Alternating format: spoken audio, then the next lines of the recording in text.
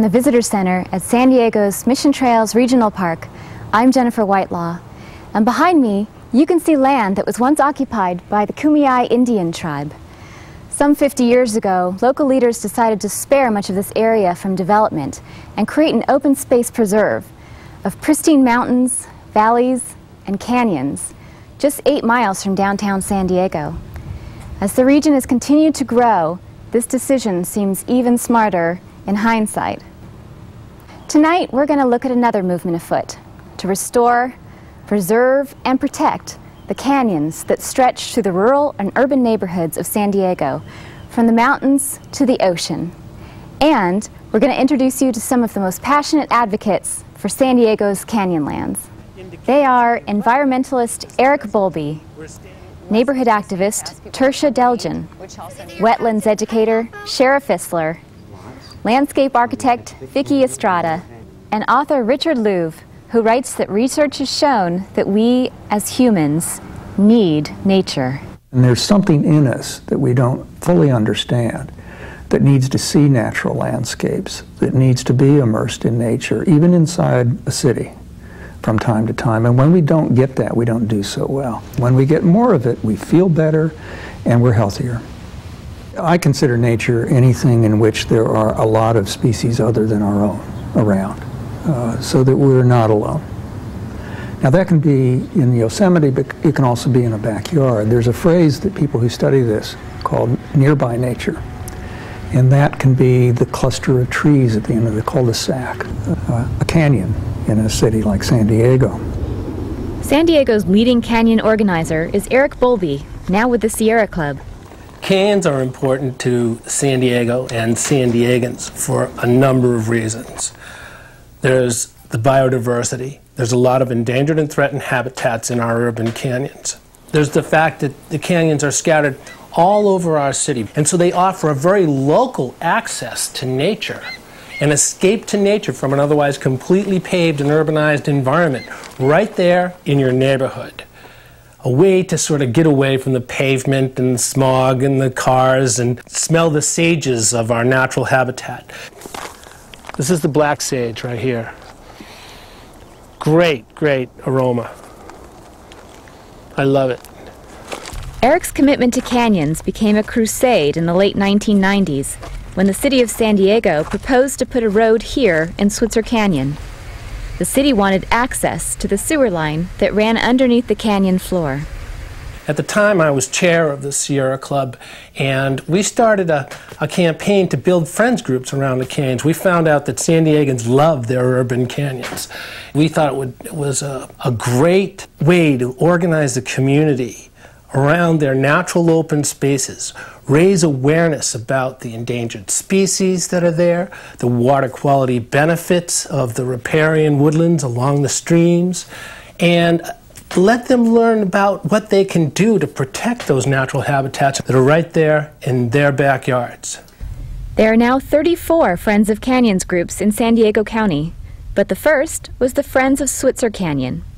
And yes, they won by preventing the city from building a paved road and helping to draft policies that are sensitive to the canyon habitat. Over the years, we've developed some friends groups that have really done some pretty uh, dynamic things, and the Friends of 32nd Street Canyon is, is one of them. It's got great leadership. Tershia d'Elgin has rolled up her sleeves to protect her neighborhood's canyon in a variety of ways. Protecting this Golden Hill Canyon has meant fighting a battle on two fronts. The first was against the invasive arundo, a bamboo-like grass that was choking the canyon.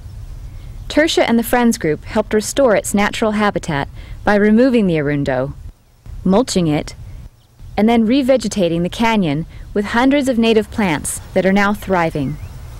The second battle was against the San Diego Unified School District, the school district was proposing putting a 6.5 acre campus right in the canyon, which would have involved a lot of grading and obviously habitat destruction. The canyon is approximately 12 acres. So they were just going to and put it in there rather than take housing or other properties. So there was a lot of opposition to that, and especially Golden Hill I like to think of it as sort of Berkeley South. It's very political and involved in wanting environmental things to be taken care of.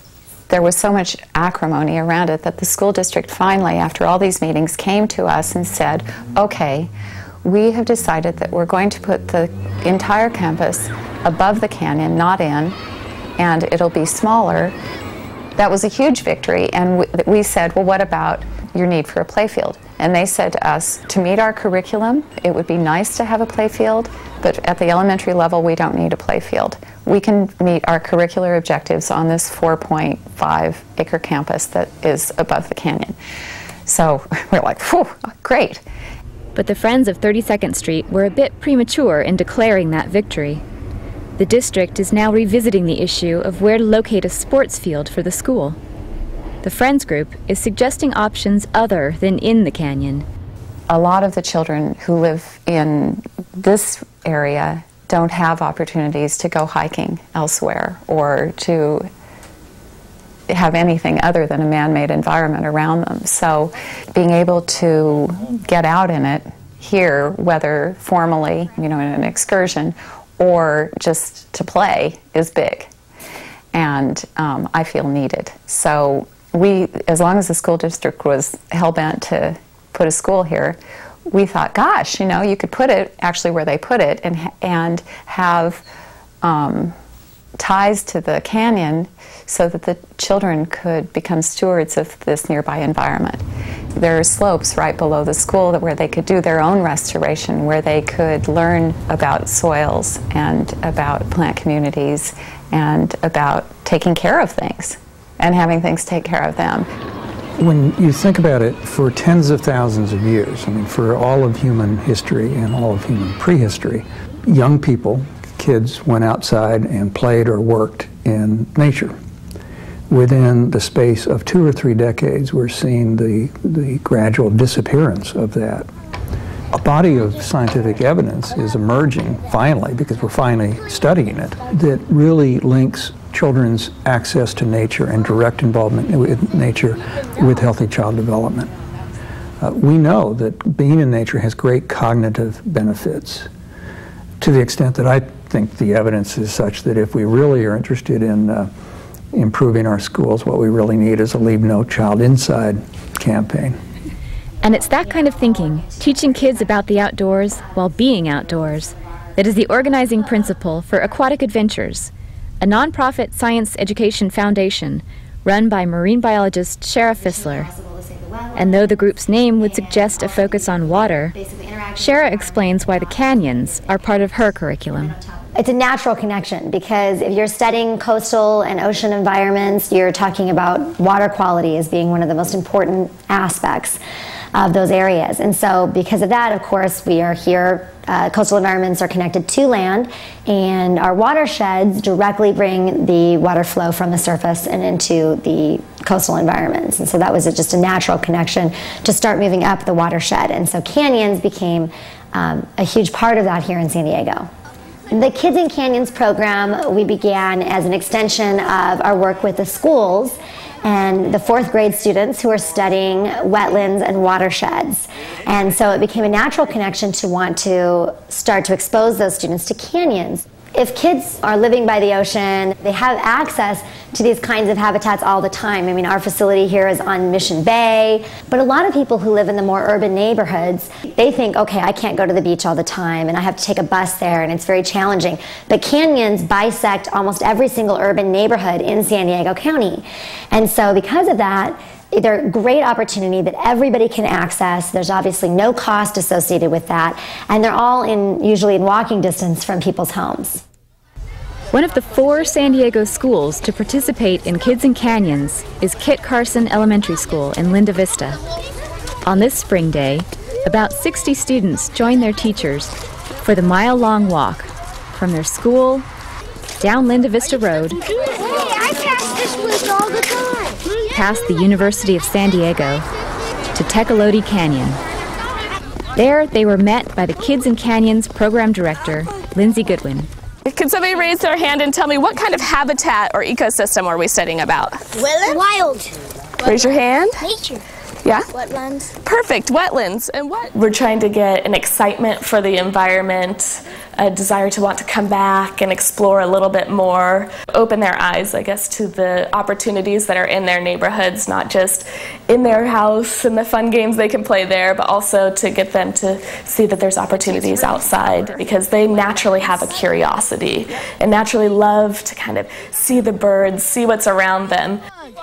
No, it's a stink bug. It's a stink bug. Something bug. Wayne literally ate that before. It's a stink bug. You're right. You're making it run away. When it rains, the watershed collects all the water in this area and it comes through these canyons and rivers and streams and off of our streets, okay, and it ends up all the way down into the ocean. Now, the wetlands we studied before. When we are in a natural habitat, we tend to use all of our senses at the same time, and we kind of come fully alive. That's why it's so important to emphasize when we take children into nature the experience, not just the information. Hearing, what's another sense? Oh, smell. Touch. Yeah, touch. Taste. And you guys know that this plant right here, this is lemonade berry? You can eat those? Yeah, the Kumeyaay. Who's the Kumeyaay? Someone tell me that. The, the, The native people of San Diego, they, they would take the berries and boil it in water and make a nice, sweet little lemony, fresh drink. Should we water it now? We need to make the little.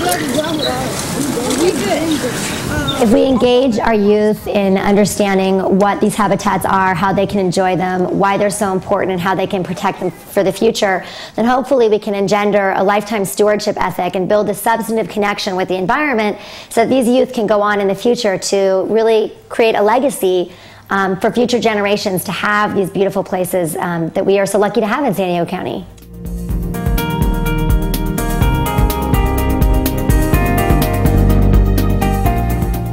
The idea of creating a legacy that cherishes San Diego's natural treasures is not new. When urban planner and landscape architect John Nolen surveyed this region in the early 1900s, he was struck by what he saw. In his 1908 plan for the city, he wrote, The scenery is varied and exquisitely beautiful. The great, broad, quiet mesas, the picturesque canyons, the bold line of distant mountains, the wide, hard ocean beaches, the Great Bay, these are but some of the features of the landscape that should be looked upon as precious assets to be preserved and enhanced. But Nolen went on to scold San Diego, calling the city neither interesting nor beautiful, in part because it had done little or nothing to secure the benefits of its great natural resources. Urban planners Kevin Lynch and Donald Appleyard picked up on this theme in Temporary Paradise, their seminal planning document for the city in 1974. They called the valleys and canyons San Diego's priceless asset, but they were concerned by the number of highways, shopping centers, and parking lots that were cropping up in them. They went on to write, It is of great importance that San Diego now, at the last moment, preserve all the remaining undeveloped valleys and canyons so that the rural character is preserved, even within the city. Well, we've since enacted zoning codes that protect some canyons, but there are civic activists who see the need for a bigger, more comprehensive effort. What they want is to create a countywide open space preserve that would be known collectively as San Diego Regional Canyonlands Park. This group was inspired, in part, by columnist Richard Louv. Actually, a few years ago, I um, posed this idea in my column in the San Diego Union Tribune uh, that if you look at the condition now of the canyons, they're being chipped away. As long as they are seen separately, they will continue to deteriorate. If we begin to see all of these canyons as one thing and name it as such, then if you hurt one canyon, you've hurt them all. Louv's concept made a lot of sense to landscape architect Vicki Estrada, who grew up exploring San Diego's canyons. My God, every day those canyons were my backyard, you know, and I, uh, I knew every nook and cranny of that canyon. Took my dogs out there. I mean, that's where I really got to experience. And frankly, I honestly believe that if I would not have experienced those canyons, I would not really would have understood the relationship between nature and people and, and animals and how all that happens. And I think I'm a landscape architect really because of that. So, not everybody is fortunate enough to live next to a canyon. So you start to ask the question, how can we bring that experience of the canyons to everybody? That the one way we can do that is to make it a parkland. It preserves, we were able to maintain it, we're able to provide access where appropriate, and we're able to enhance things in places where we need to. So Estrada and her colleagues at the citizens group, San Diego Civic Solutions, developed Louv's concept into a planning document for Canyonlands Park. It outlines a framework for canyon-friendly urban planning, including rethinking how and where to build next to canyons. What if this dark green was water? I can assure you that no builder, you know, that, that, that, that, that would have been treated differently. You know, how do we treat the beach? We have a public boardwalk. We have the beach publicly accessible. We have view windows. We have corridors. And yeah, there's houses on the other side of that. If you go along Sunset Cliffs in Point Loma, right, that entire ocean side, there are no houses between the street and Sunset Cliffs. If we would have treated the canyons the same way we did that, they would have been so, so different. And if this would have been water, this would not have been houses. We would have had town centers, we would have had community centers and little nodes overlooking the water, the canyon. We need to start thinking of those canyons, give them the same value as we would if they were water.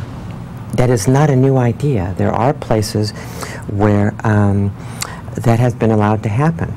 This image is looking toward the southeast. We're over the San Diego River, kind of where the fairgrounds are. This is uh, what was called North City West, and here's the San Diego River Valley and San Diego River Park. But look, here's a, the key thing. See how that public road comes in? And guess what? Rather than have houses all along the edge, what they did is kept this open, and they in fact have little overlooks and little parks. So it has been done before. But it's not something builders and developers like to do because it's not efficient. Anytime you have a street with houses only on one side, it means it's not as efficient for them. You don't get as many houses. So most builders don't like to do that.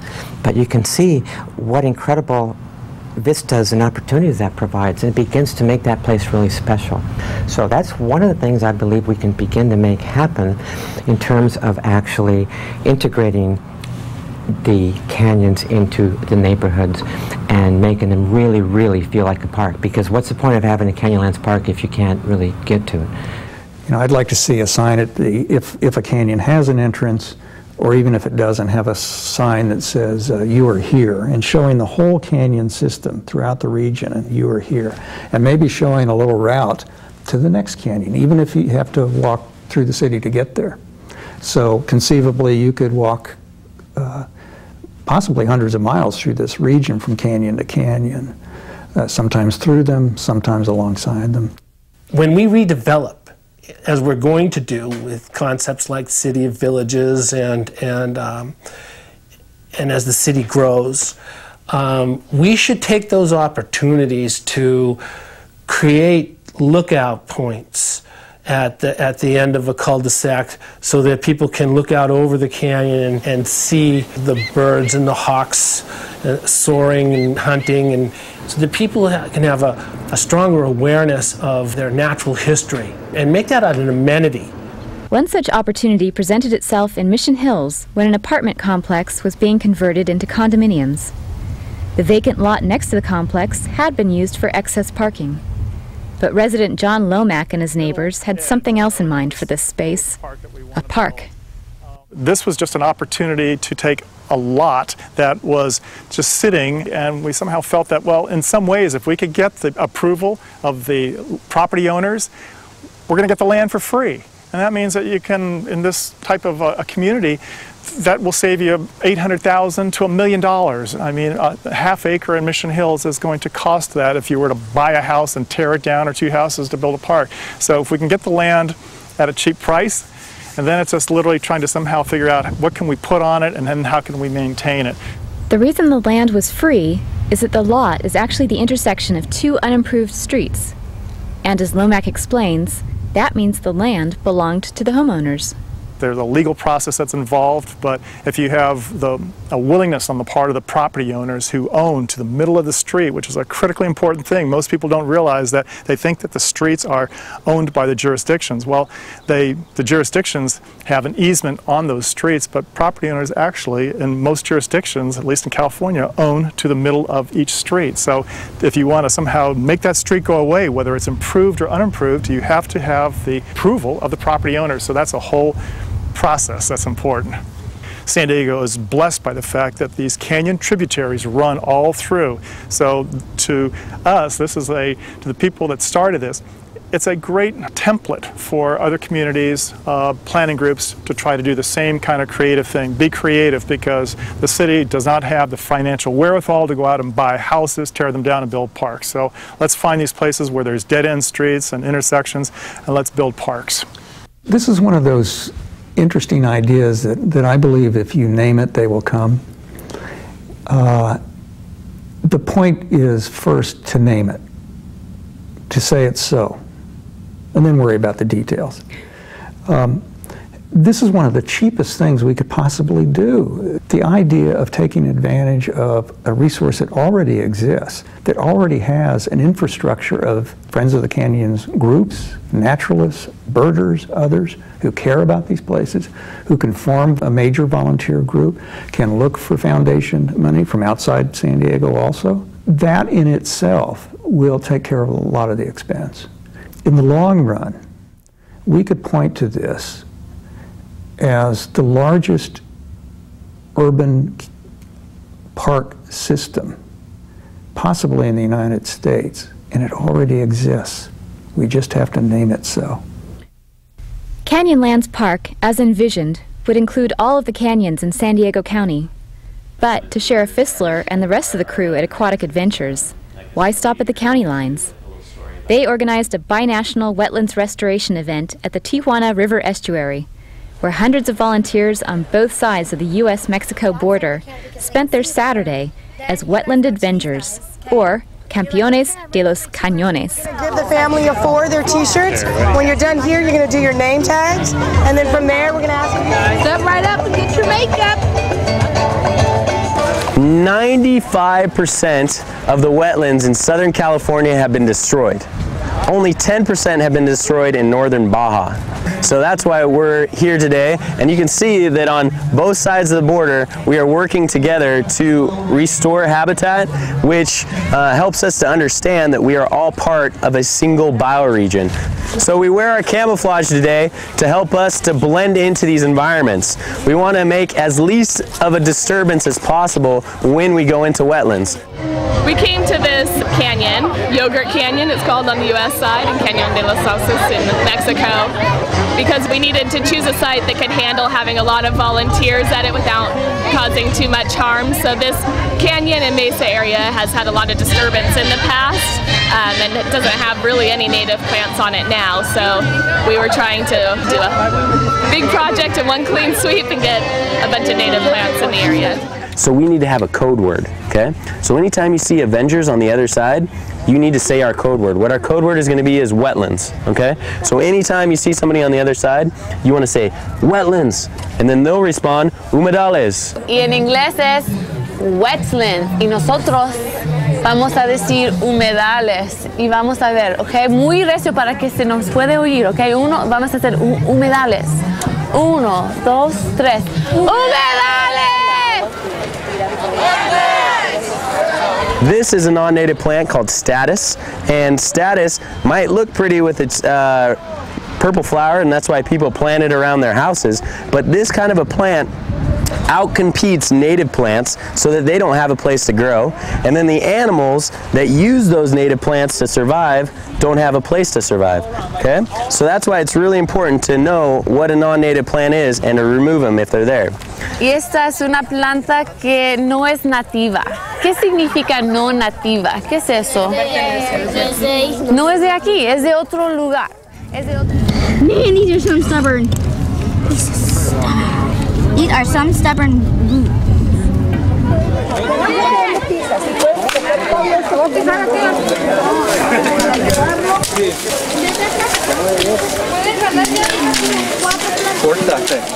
Sí. Ah, ok, buen tira.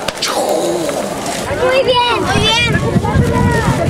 I think it's a really good awareness project for people to understand the importance of our wetlands and to have um, the borders combined together to really work to make sure that as we help these wetlands that more and more people will start to understand how important they are to our ecosystem and how we need them to filter our water and keep them unpolluted and how they serve to a home for endangered animals.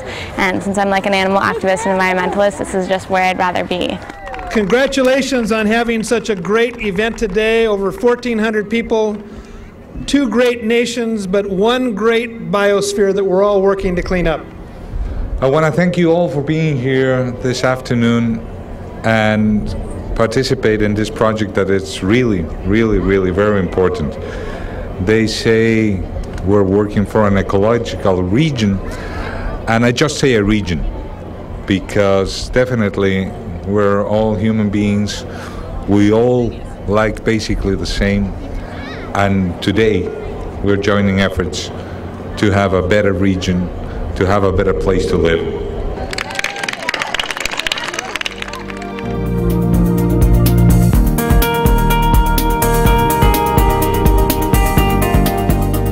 As you've seen tonight, there's something for everybody to do. Whether it's protecting your own piece of canyon or working with two countries that share a watershed. You can do your part to preserve these natural treasures and make Canyonlands Park your gift to future generations. As planner John Nolen said 100 years ago, no city regrets its acquisition of parks, but many cities regret their failure to act in time. It's not too late for San Diego. I'm Jennifer Whitelaw. Good night.